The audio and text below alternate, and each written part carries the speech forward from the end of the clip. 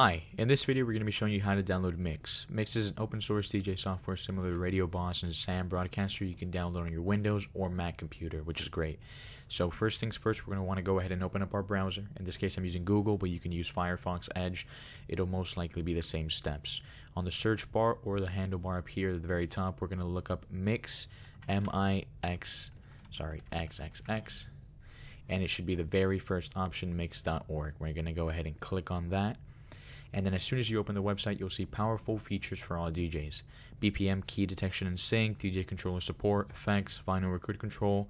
It'll also bring you down here where it says free and open source so you can make the changes as you'd like. But for the most part, you should be fine just downloading the very basic version they have. And then at the very bottom, you can also see the latest news. So we're going to scroll back up and we're going to click on download.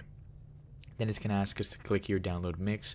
If you scroll down, it'll show you the versions available for Windows, Mac, Ubuntu, Fedora, Linux, and the source code to make your changes.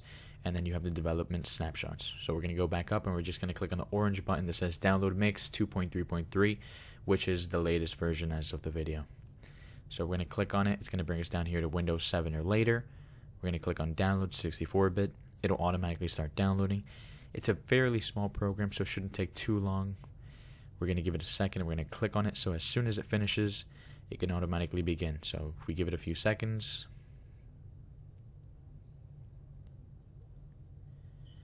Okay, it's going to begin the Welcome to Mixxx Setup Wizard. We're going to click on Next. We're going to accept the terms and the licensing agreement.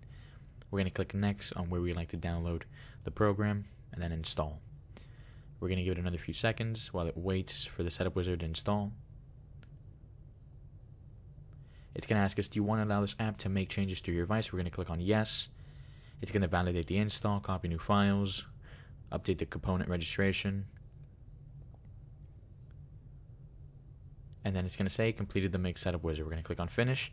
And just like that, Mixxx is downloaded. So now if we click on the search bar here in our Windows computer, we look up M-I-X-X-X, Mixxx right here it's going to automatically open and then it's going to ask us to please open our music folder. I currently don't have any music on the des desktop, so we're just going to click on select folder.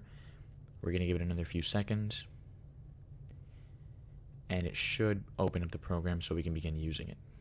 Just like that, we're going to maximize the screen and you can see here a few you know demo sounds you can use and add to the program. You can double click on them and just like that we can begin using the program. So this was the basic video on how to install it.